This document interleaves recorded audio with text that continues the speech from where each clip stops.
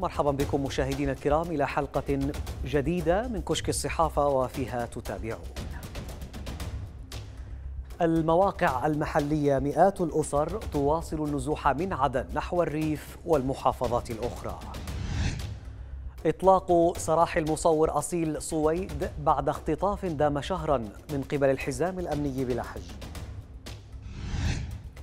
من الأخبار المنوعة أول مصاب بفيروس كورونا يشعر بالندم ويتمنى الموت.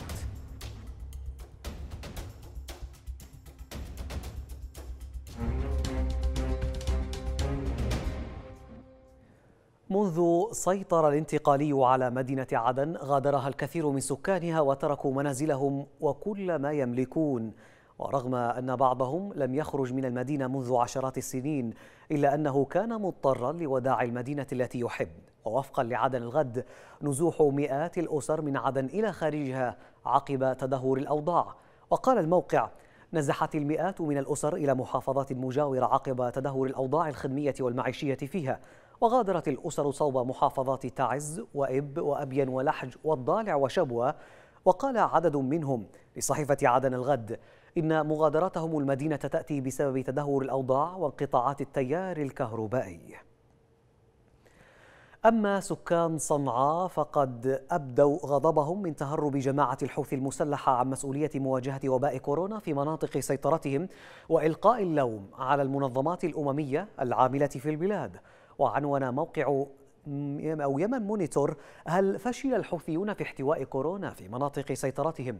وفي رد للجماعة على الانتقادات بأنها تخفي عدد الإصابات بوباء كورونا في مناطق سيطرتها قالت إن كثيرا من دول العالم تعاملت مع حالات الإصابة كأرقام وإحصاءات مما أثر سلبا على الحالة النفسية والمناعية للمجتمعات. مصدر مسؤول في وزارة صحة الحوثيين بصنعاء قال لليمن مونيتور إن الوضع الوبائي في مدن صنعاء وعمران وذمار وإب سيء للغاية ويجب إغلاقها تماما والبدء بالتعامل معها عبر منظمات دولية وليس عبر سلطة الحوثيين. وأضاف المصدر الذي تحدث شريطة عدم الكشف عن هويته خشية انتقام الحوثيين أن الإصابات بالعشرات يوميا في المحافظات الأربع السابقة. طبيب يعمل في مستشفى حكومي بصنعاء قال إن بيان الحوثيين عبارة عن خطبة جمعة وليس بيانا باسم وزارة في ظل تفشي الوباء.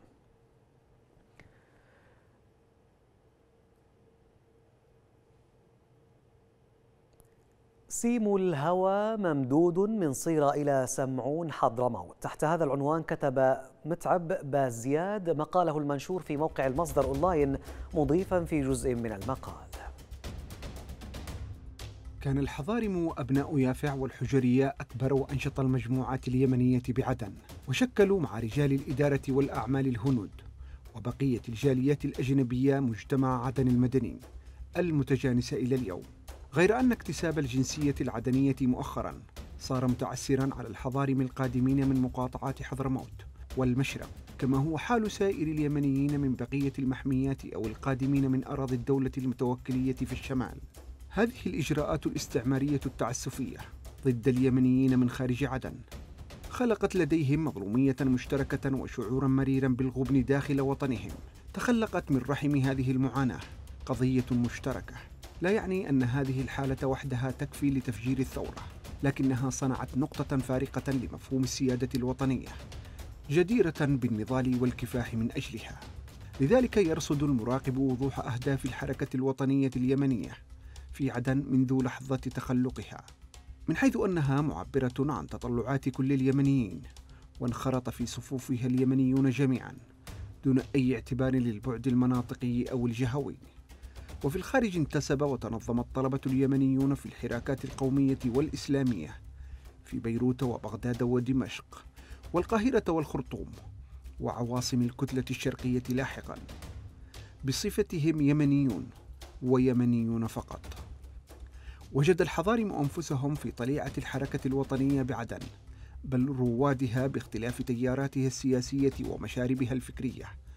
ورغم أنه كانت هناك إرهاصات ووعود بريطانية باستقلال سلطنات حضرموت مطلع العام 1968 إلا أن رجال الجبهة القومية لتحرير الجنوب اليمني المحتل حسموا مستقبلها مع الجمهورية اليمنية الجنوبية الفتية. من لحظة سقوط مدينة المكلا في أيديهم. قبيل إعلان الاستقلال الوطني من عدن رسميا في الثلاثين من نوفمبر ومد السيم من صيرة إلى سمعون. وانتظمت فيه ست وحدات إدارية. أخذت حضرموت رقم الكابينة الخامسة على الترتيب الجغرافي. جميع الميليشيات مع اختلاف توجهاتها ومموليها إلا أنها تتفق في معاناة الصحافة والصحفيين. ففي لحج قضى المصور الصحفي أصيل سويد أكثر من شهر وحين خرج من المعتقل. كان جسده ممتلئا بالندوب وعنون موقع المصدر أونلاين إطلاق سراح المصور الصحفي أصيل سويد بعد اختطاف دام شهرا من قبل الحزام الأمني بلحج. ونشر شقيقه أسامة صورا له وهو في حالة سيئة وقال الحمد لله خرج أخي أصيل وهو ليس بخير أبداً. وكان سويد قد اختفى مطلع شهر مايو أيار بعد أن غادر تعز باتجاه العاصمة المؤقتة عدن ولم تحصل أسرته وزملائه على أي معلومات حول مصيره أو الجهة الخاطفة حينذاك وقال أسامة للمصدر أونلاين بعد اختفاء أخيه إن بعض أصدقاء أصيل كانوا قد أبلغوا أسرته بأنه محتجز مع آخرين في سجن يتبع اللواء الخامس دعم وإسناد. التابع للمجلس الانتقالي الجنوبي بمدينة لحج. لا أخبار تخرج من محافظة إب ورغم المآسي التي تحدث فيها إلا أن الصمت والخوف هما السمة البارزة في تلك المدينة. وعنون موقع الصحوة نت عشرات الوفيات يوميا دعوات حقوقية لإنقاذ أبناء محافظة إب من جائحة كورونا. ودعا رئيس منظمة رصد للحقوق والحريات عرفات حمران السلطات الشرعية دعاهم إلى إعلان محافظة إب محافظة موبوءة بفيروس كورونا واتخاذ إجراءات وقائية وعلاجية بالتنسيق مع منظمة الصحة العالمية. وقال حمران إن محافظة إب باتت في حكم الموبوءة بحكم التقارير التي ترد مؤكدا أن الوباء انتشر على نطاق واسع في المحافظة وسط تكتم من ميليشيا الحوثي الانقلابية التي ترفض الاعتراف به حتى الآن. وأكد رئيس منظمة رصد أن فرقا ميدانية من المنظمة ترصد يوميا عشرات الوفيات في المستشفيات والمنازل. كما أوضح حمران أن ميليشيا الحوثي تتعمد التستر على الوباء في الوقت الذي لم تعلن فيه عن أي إجراءات احترازية في إب. الأمر الذي فاقم من الكارثة في ظل انهيار كامل للنظام الصحي في المحافظة. اليمن الوضع مقلق بشكل متزايد. تحت هذا العنوان نشرت صحيفة لوفيغارو الفرنسية مقالها حول الوضع في اليمن وقد ترجم هذا المقال لصالح قناة بلقيس وجاء فيه. دعا العديد من مسؤولي الأمم المتحدة والوكالات إلى تقديم دعم عاجل لليمن حيث الوضع مقلق بشكل متزايد مع تقدم جائحة كوفيد 19 وأكد هؤلاء المسؤولين من إدارة الشؤون الإنسانية في الأمم المتحدة واليونيسف وبرنامج الغذاء العالمي ومنظمة الصحة العالمية في مقابلة مع الصحفيين. نحن قلقون أكثر فأكثر بينما لدينا القدرة على استقرار الأزمة الإنسانية الخطيرة التي تؤثر على البلاد. وأضافوا ما لا نملكه هو المال ونطلب من المانحين أن يكونوا كرماء وأن يدفعوا التزاماتهم بسرعة في إشارة إلى احتمال عقد مؤتمر مشترك للمانحين حول اليمن في الثاني من يونيو بدعوة من المملكة العربية السعودية والأمم المتحدة. وقال نائب الأمين العام للأمم المتحدة للشؤون الإنسانية مارك لوكوك إنه يسعى حتى نهاية العام إلى جمع 2.4 مليار دولار لليمن بما في ذلك 180 مليون دولار لمحاربة الوباء. وقال مهند هادي من برنامج الغذاء العالمي اليمن في حاجة ماسة للمساعدة بينما تحدثت مديرة اليونيسف هنريتا فور عن كارثة كبرى. يحتاج أكثر من 12 مليون طفل في جميع أنحاء البلاد إلى المساعدة الإنسانية. قبل الوباء كان مليون طفل محرومين من المدرسة. مع كوفيد 19 سيحرم خمسة ملايين طفل آخر على حد قولها. ووفقا للأمم المتحدة ينتشر كوفيد 19 بسرعة في جميع أنحاء البلاد ويواجه بالفعل أكبر أزمة إنسانية في العالم بسبب صراع لا ينحسر هل سألت نفسك يوما من هو أول رجل أصيب بفيروس كورونا؟ مؤكد أنك فعلت فالعالم بأكمله بحث عنه فمن هو؟ صحيفة العربية الجديد نشرت تقريرا بعنوان شانكتاي أول مصاب بفيروس كورونا ووفقا للصحيفة بدأ كل شيء بسبب قطرة منسكبة من أحشاء خفاش وصل مريضا إلى سوق الأغذية. قطرة صغيرة مصابة خرجت من تحت ظفر جزار شاب في أحد صباحات أيلول. كان من المتوقع أن يكون الجو باردا. في مقاطعة هوباي ما حمل سكان ووهان على طلب شوربة الخفاش التقليدية الساخنة مع الزنجبيل للغداء. من أكل تلك الشوربة خلال أيام العدوى أكد طعم أكد أن طعمها كان طبيعيا بل كانت لذيذة كالعادة. رغم ما نعرفه عن قدرة الزنجبيل على إخفاء النكهات السيئة شعر شانكتاي بأن الجو بارد أكثر من العادة في ذلك الصباح. كان الرجل يعمل ساعات إضافية سلخ جلود ضعف عدد الحيوانات المعتاد وخلال أكثر من 12 ساعة كان قد ذبح مئات الخفافيش البرية العملاقة في نهاية اليوم. كان التعب واضحا على عينيه ومعاكسا في العيون المطفأة لتلك القوارض. شعر بأنه قد انطفى.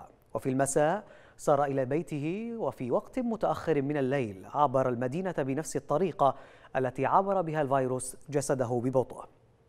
وفي الأسابيع اللاحقة بدأت أعراض الإنفلونزا تظهر على أقرانه في العمل بينما ساعده سنه الشاب في تأخير ظهور الأعراض اليومين.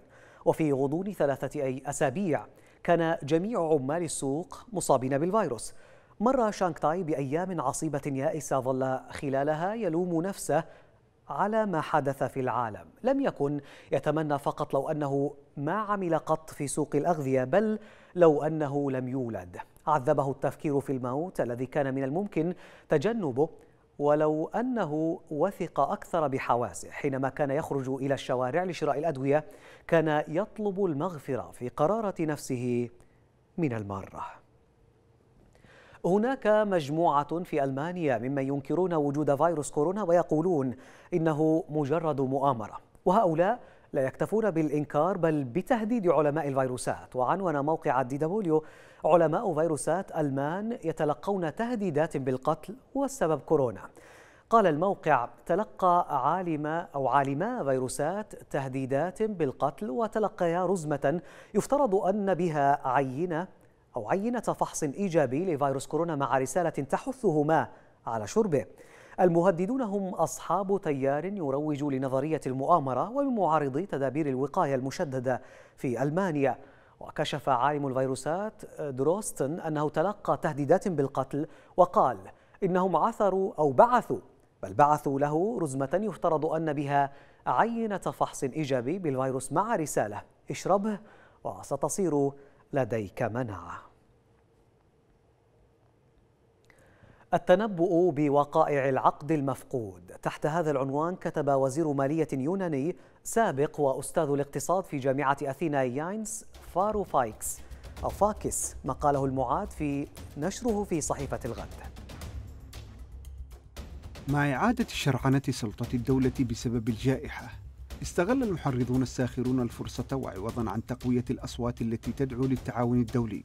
عززت الصين والولايات المتحدة الأمريكية من الشعور القومي وفي أماكن أخرى أثار قادة من أصحاب النزعة القومية الخوف من الأجانب وقدموا لمواطنيهم الذين فقدوا روحهم المعنوية مقايضة بسيطة الفخر الشخصي والعظمة القومية في مقابل سلطات استبدادية لحمايتهم من الفيروسات القاتلة والأجانب المخادعين والمنشقين المتآمرين.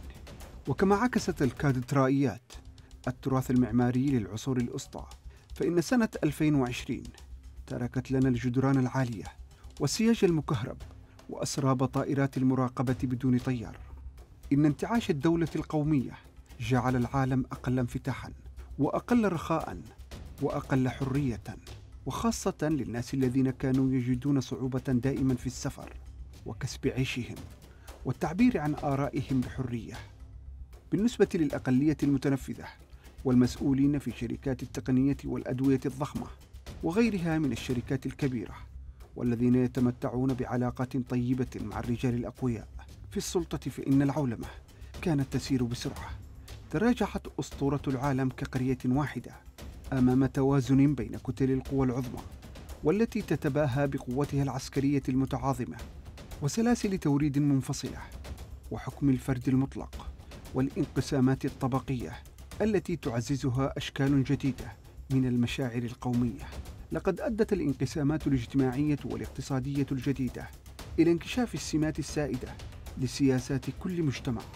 ومثل الناس الذين أصبحوا رسوما كاريكاتورية لأنفسهم خلال الأزمات ركزت دول بأكملها على اوهامه الجماعية وترسيخ الأحكام المسبقة القائمة والمبالغة بشأنها. اضطرت كبيرة المسؤولين الصحيين في اسكتلندا للاستقالة من منصبها بعد أن كشفت وسائل إعلام قيامها بزيارتين منفصلتين لمنزل ثان تملكه خلال الحظر. وفي نيوزيلندا أحيل وزير الصحة لمهام أدنى بعد خرقه قواعد الحظر المطبقة في البلاد باصطحاب أسرته إلى الشاطئ.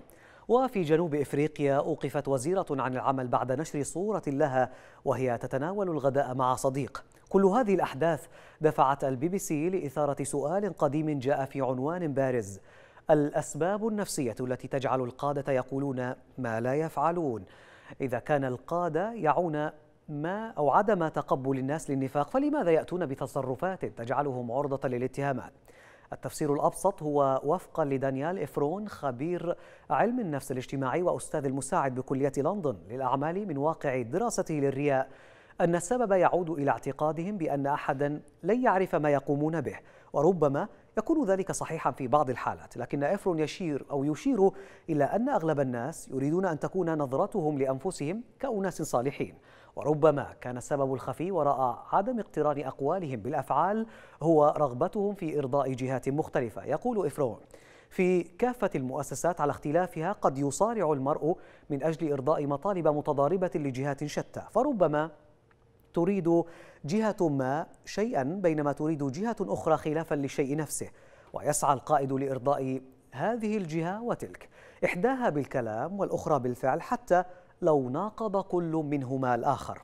ويخطئ من يظن أنه في أزمة مثل التي نمر بها الآن. لكن لن يكون على القائد إلا إرضاء جهة واحدة وهي الشعب. دعونا نحاول فهم الأمر من وجهة نظر القائد. يقول إفرون أحيانا تكون إحدى الجهات هي الأسرة وقد يرى القائد أنه بفعله هذا يوازن بين حاجة أسرته من ناحية وواجباته العامة من ناحية أخرى.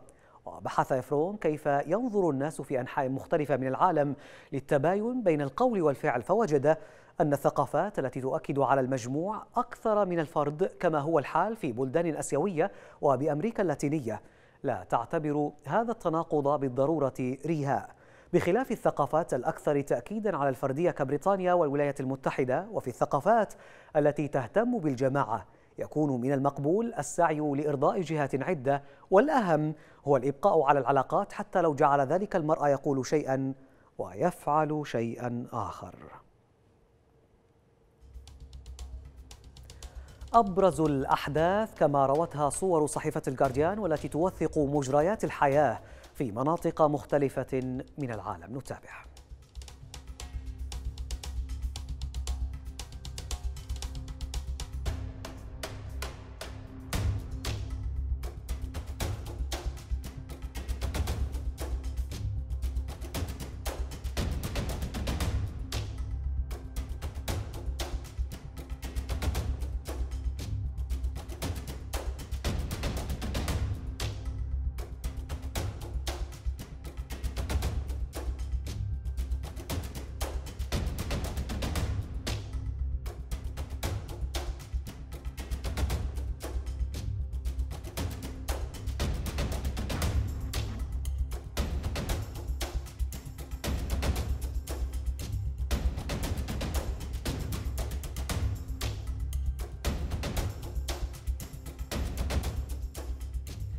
أخيرا عدد من رسومات الكاريكاتير والتي نشرتها الصحف والمواقع نتابعها في هذه الجولة.